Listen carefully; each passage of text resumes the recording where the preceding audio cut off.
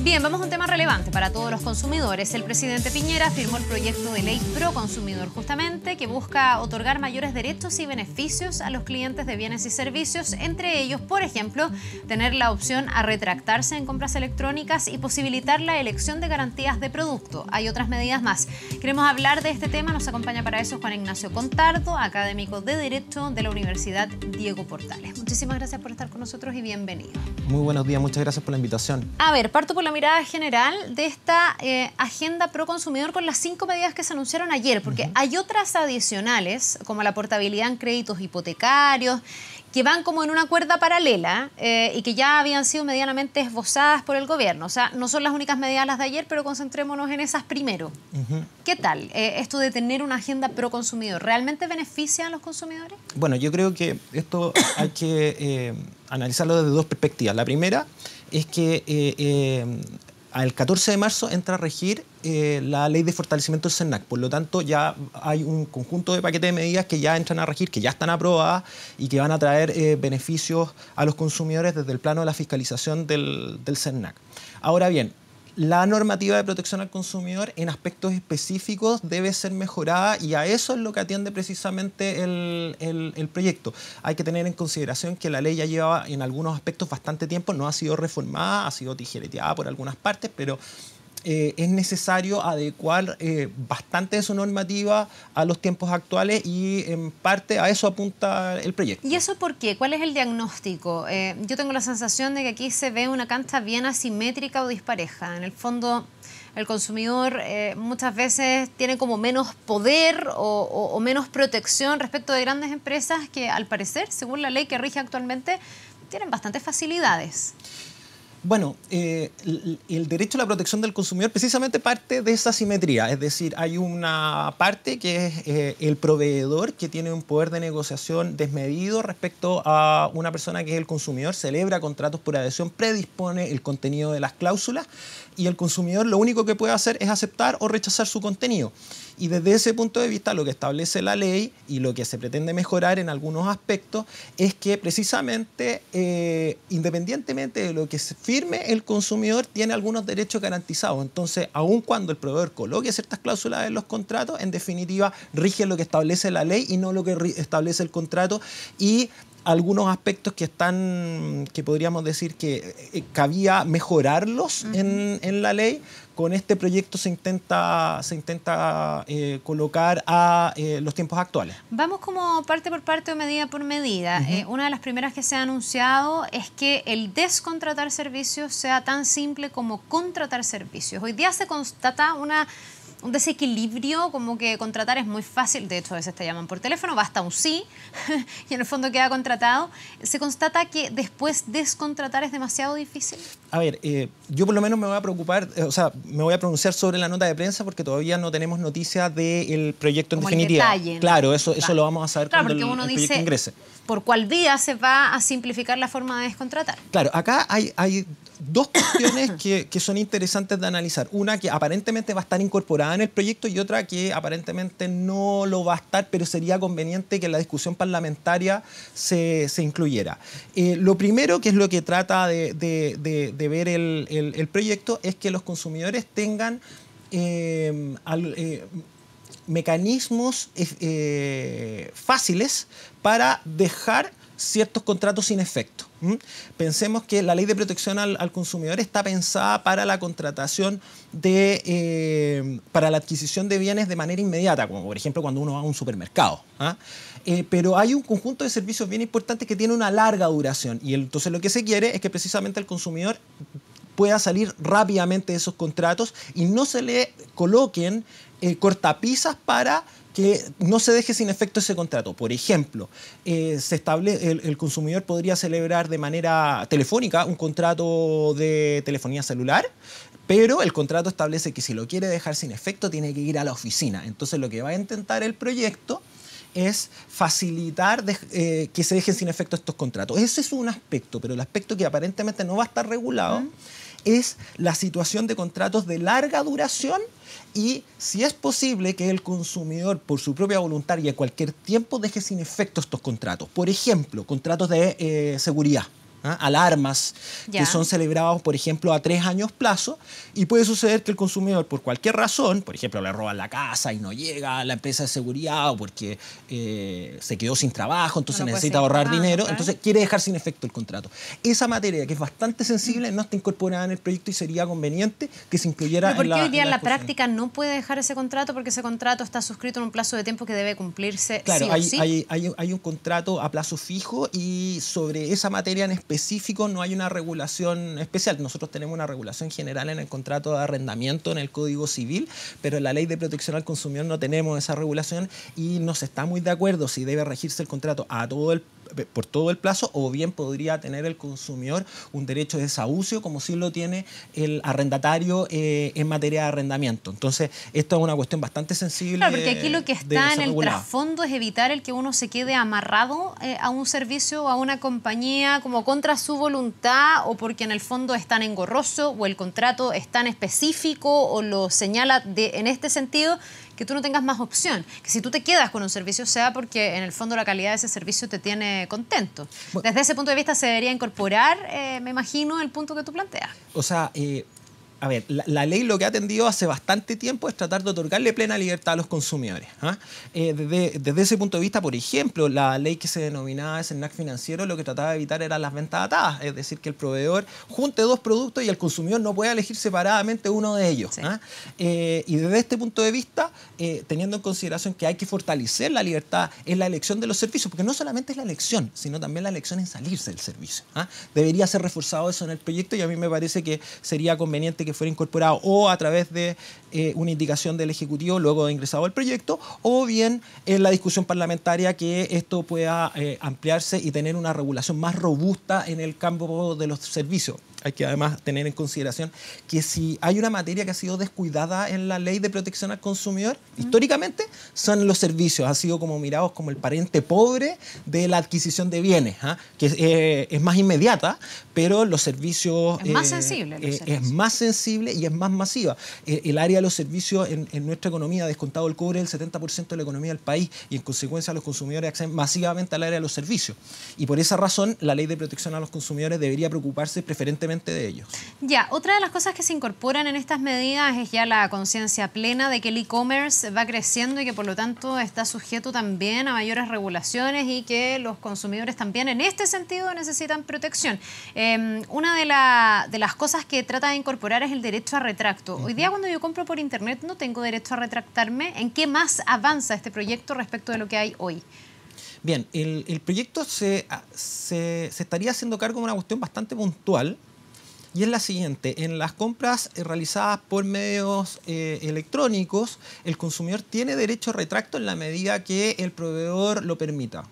Es como voluntario. Es voluntario del proveedor. Por lo tanto, si el proveedor no lo permite, no hay derecho a retracto. ¿ah? Eh, cosa que, por ejemplo, no sucede con frecuencia, aun- aunque esto no, es, eh, no está en la ley de, protección al consumidor, pero es una práctica masiva en, varias cadenas de retail, que el consumidor pueda retractarse la compra. Mire, yo lo quiero dejar sin efecto. Yo, por ejemplo, me voy a comprar un sofá. ¿ah? ¿ah? a una tienda de retail, entonces yo recibo el sofá, no me gustó y lo puedo devolver. Pero si lo compro por internet, solo en la medida que el proveedor me permita la devolución o el retracto, eh, se permitiría. Y además tiene un plazo, que es un plazo de 10 días a contar de la celebración, eh, eh, a, través, perdón, a partir de la recepción del producto. Entonces lo que quiere hacer el proyecto de ley aparentemente es, es quitarle la frase en la medida que el proveedor lo permita expresamente. De Ya, tal o sea, que manera sea obligatorio. que se permita para todos los casos el retracto. ¿ah? Eh, ahora, esta es una cuestión que, que- que queda, eh, eh, que podría quedar dentro de lo discutible, es decir, establecer tramos eh, a partir de los cuales hay ciertos contratos que, por ejemplo, el consumidor no se pueda retractar y hay otros que sí se pueda retractar y también podríamos discutir eh, los plazos, pero lo que sí es necesario establecer en la ley es un derecho mayor al retracto en las compras electrónicas. Y esto dice relación con una cuestión bastante importante. El retracto está relacionado con la libertad que tiene el consumidor de elección cuando el consumidor va a un establecimiento físico, tiene tiempo para pensar sobre la compra. En cambio, es tan rápida la adquisición a través de medios electrónicos, por ejemplo, a través de Internet, que puede ser que el consumidor no tenga eh, eh, no piense adecuadamente cuáles van a ser las consecuencias de su adquisición. Y a veces pasa algo peor, que tú vas a la tienda y te dicen, no, esto está solo online. Entonces tú no tienes la posibilidad de ver el producto. El producto no está físicamente ahí porque cada día se reduce más el espacio y todo se hace a través de los computadores. Entonces, si yo no tengo la posibilidad de ver la silla que me quiero comprar, cuando me llega a la casa y recién la veo y me siento y veo si es cómoda, puedo saber si es que cumple o no con mis expectativas. Bueno, eso es bien interesante también porque eh, cuando, cuando uno observa la, la, estructuración empresarial de, lo, de las grandes cadenas de retail, eh, son societariamente distintas empresas, la tienda física, la tienda del, del retail. Y para los efectos que muchas veces a nosotros nos interesa, y eso también podría preocuparse el proyecto, pero no lo hace, eh, es los mecanismos de atención al cliente. A veces dicen, no, usted tiene que alegar en la plataforma online y no puede alegar en la plataforma presencial, presencial porque son empresas distintas que tienen algún tipo de... o sea, son la misma, pero son la misma empresa en plataformas distintas. Claro, lo que pasa es que tienen a veces inventarios distintos, entonces por. Funcionan como que fueran distintas. Funcionan como que sean distintas y de alguna manera sería conveniente ayudar a la centralización o bien ayudar a la reclamación a cualquiera de las empresas del holding. ¿ah? Eso sería también bastante interesante de ser incorporado o en esta reforma o en una reforma posterior. ¿ah? Son de los, como los temas pendientes. Entonces tú ves que hay que ver el detalle para ver qué contempla y qué espacios de modificación y mejora aún le quedan. Ahora, en general, estas reformas de protección al consumidor ingresan... De una eh, forma y salen de otra. Y, y, sí, muchas veces enriquecen bastante. ¿ah? Ya. Eh, así que no hay que tenerle miedo a la, discusión congresista. Ya que estábamos hablando de lo digital, em, a mi juicio, desde sin ser una experta ni técnica, una de las grandes como contribuciones que yo veo es lo que se quiere hacer en torno a una central de recetas online y también la posibilidad de que tú puedas entonces acceder a la compra de remedios online que incluso te los puedan llevar a tu casa. Esto eh, rige mucho, no sé, de repente el fin de semana, hay lugares donde no hay farmacias, tenemos 59 comunas donde no hay farmacias y por lo tanto este despacho y esta compra a distancia podría ser un aporte. ¿Cómo se debe regular? Porque también el tema de los medicamentos es un tema sensible. El tema de las recetas también es un tema sensible. Hay recetas que son retenidas. Eh, no sé cómo se logra que al final todos los actores de la industria de la salud, porque es una industria en realidad, eh, se sumen. Aquí tendría que ser el doctor que hace la receta, efectivamente la deje online, eh, farmacias que vendan a través de las plataformas y pongan eh, el acceso de los remedios. ¿Cómo ves tú este punto? Bueno, es bien interesante el hecho que se haya incluido este punto en el paquete de reforma. ¿Por qué? Porque propiamente el tema de las recetas no es un problema de protección al consumidor, es un problema sanitario. ¿ah? De hecho, está regulado en el Código Sanitario. Ahora bien, desde ese punto de vista hay algunos aspectos de protección al consumidor y hay otros propiamente médicos. Eh, lo propiamente protección al consumidor es el acceso a la, a la receta. Muchas veces a uno se le pierde, por ejemplo, una receta y uno tiene que pedir una hora nueva al doctor para obtener la misma receta porque uno se le pierde. O muchas veces de fin de semana a tu guagua le dio lo mismo que le dio la vez anterior, el pediatra te quiere dar la receta pero necesitas estar físicamente con el pediatra. Y si no te la manda eh, online, digital o digamos a tu celular, tienes que ir a rogarle al farmacéutico que haga una excepción para, para venderte Entonces desde ese punto de vista, o sea, eh, uno podría decir que desde ese punto de vista hay un, hay un problema de, de, protección al consumidor, pero desde otra perspectiva, desde ya desde el punto de vista sanitario, eh, lo que tiene que hacer la ley es regular mecanismos efectivos para, uno, el acceso a la, a la receta, dos, la fiabilidad eh, de, el, de, de, la receta, porque eh, se han evidenciado problemas eh, sobre eh, recetas falsas o eh, mala utilización, mala utilización de receta. Entonces, ese tema tiene que ser asegurado. Y en tercer lugar, la plataforma debe otorgar una seguridad, porque existen hoy día recetas con firma electrónica avanzada. Y uno de los problemas que se decía para aumentar el acceso a la, a la, receta electrónica con firma electrónica avanzada, que es muy cara la implementación del sistema para todos los doctores de Chile. Desde ese punto de vista, a mi modo de ver, me parece que es tremendamente interesante la propuesta, aun cuando no es un tema precisamente de protección al consumidor. de hecho, uno ve la, la, imagen ayer de los ministros firmando el proyecto, está el ministro de Salud y el ministro de Economía, y el ministro de Salud no tiene nada que ver con, con la protección del bueno, consumidor. Bueno, por eso yo decía que sí es una industria de la salud finalmente, porque ahí sí que tenemos eh, negocios en torno a los medicamentos y también en torno a las clínicas, etc. Em, hay otra medida, ya la cuarta, hemos hablado de tres, que tiene que ver con la posibilidad de elegir las garantías de los productos. ¿Esto a qué apunta?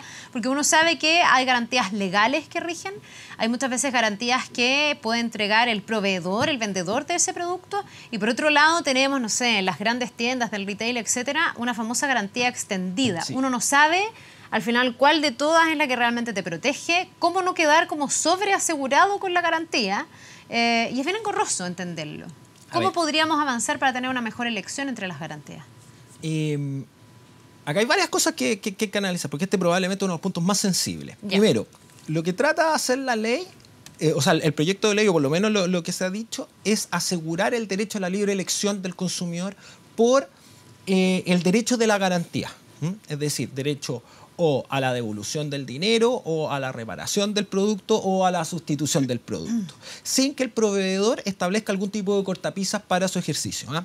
Cuando se dictó la ley y durante los primeros años de dictación de la ley, yo diría hasta el año más o menos 2004, eh, hubo un consenso generalizado que antes de la evolución del precio, por ejemplo, cuando el producto tenía un, defecto, debía procederse primero a la reparación del producto. Entonces uno llevaba, por ejemplo, el, televisor, lo llevaba a la tienda de retail, el, retail lo revisaba y decía, no, mire, esto puede ser reparado, así que usted va a tener que esperar no sé cuánto tiempo más y yo se lo voy a reparar, pero es que yo quiero mi dinero porque quiero mi, yo quería mi televisor ahora, no, no, no, no, usted va a tener que esperar eh, a la reparación. Luego se ha entendido, y sobre todo por los autores nacionales, que se han preocupado del tema, y también los jueces de policía local, que hay un derecho a la libre elección. Pero todavía no está del todo claro. Y en el fondo tú puedes decir, no, deme mi plata de vuelta, no me lo mando. O repáremelo.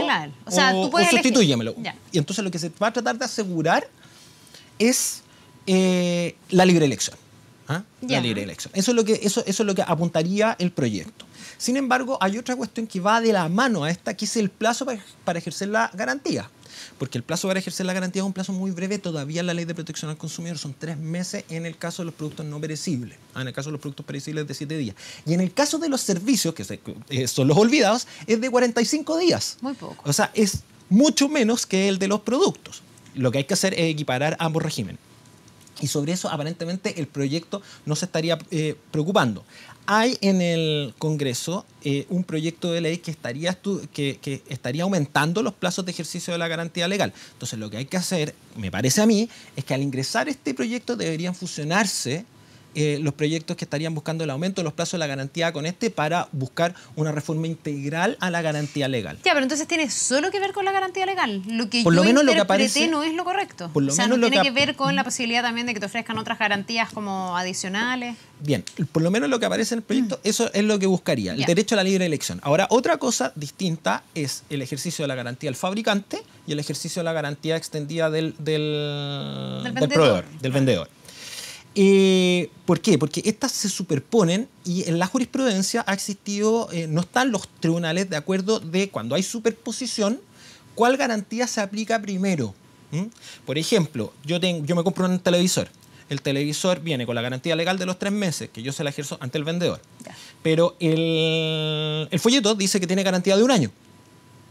Pero a su vez yo compré una garantía extendida de dos años. Entonces, si se ve durante el primer año, ¿yo qué tengo que hacer? Pasaste los tres meses, perdiste la garantía legal en el fondo. Pierdo la legal, pero me puedo ir a la del fabricante. A los ocho meses. Pero tengo también la extendida. Entonces, ¿qué pasa si yo voy y digo, eh, por ejemplo, con la garantía extendida, le digo al, proveedor, eh, oiga, eh, repáreme el producto porque se echó a perder?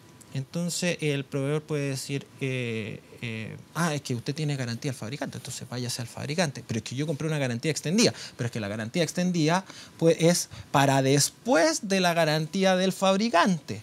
Entonces puede suceder, y ha sucedido, que yo manda a reparar sucesivamente eh, muchas veces el producto y se empiezan a pasar estos plazos de garantía y después se termina de nuevo echando a perder el producto. ¿ah?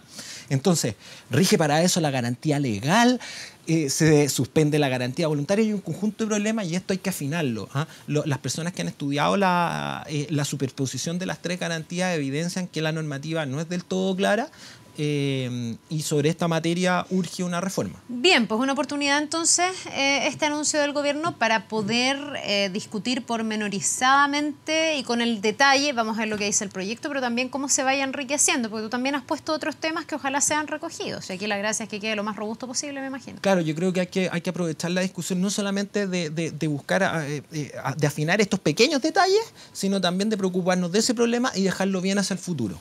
Bien, pues Juan Ignacio, muchísimas gracias por habernos acompañado. Muchas gracias por la invitación. Que te vaya muy bien, un buen día. Vamos a la pausa y ya estamos de vuelta.